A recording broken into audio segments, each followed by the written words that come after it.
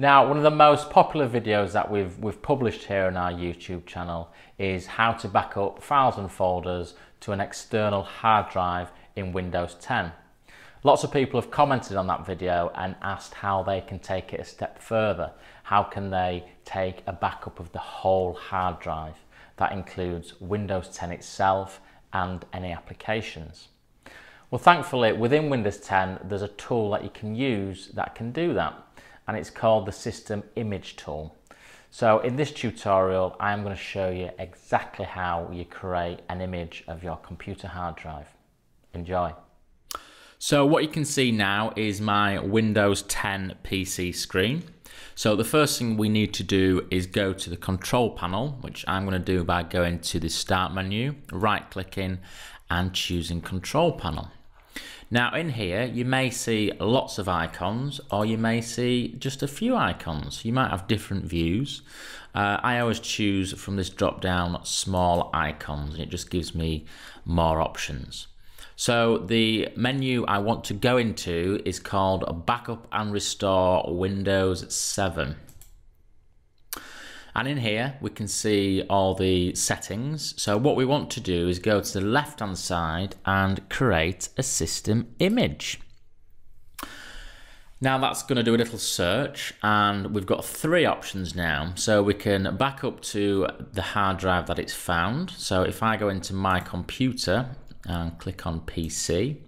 You can see here that this is an external hard drive, a USB hard drive that I've just stuck into the computer and the PC has found it here.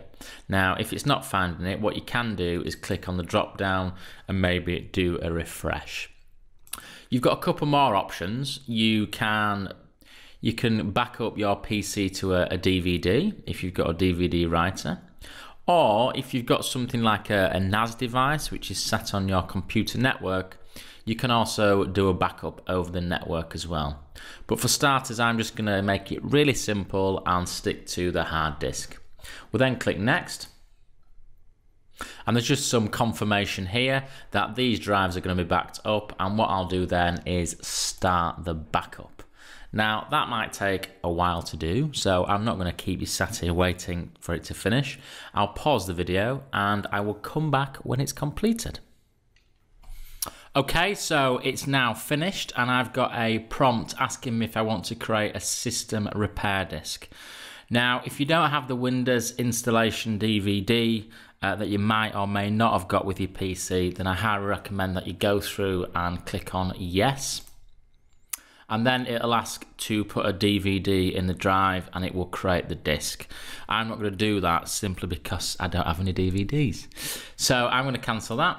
Uh, and as you can see, the system image has now been successful. And I can click on close. So after I've done that, what I can do is have a look at the external hard drive, which is here. It's my E drive. Now, I've used this external hard drive for a couple of other things. So there's a few backups on here and everything else. So that's another thing to point out. You can use your external hard drive for file history and for your Windows image backups. So in here, this is my computer name and you can see that all the files relating to the backup that I've just done are all in here so you've got your hard drive there look and all the, the files that you'll need so if I ever had a problem with my PC hard drive I would then use this external hard drive with the Windows DVD or the system repair DVD that we could have created earlier in the video.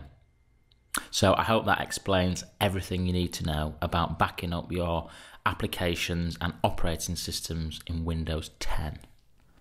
I hope that tutorial has been helpful. If you've got any comments, please leave them below this video. You can also reach out to us on our Facebook page or our Twitter feed. And as always, keep those requests for new videos coming. We're always looking for new videos that we can create, so keep those requests coming in. And I'll see you again soon.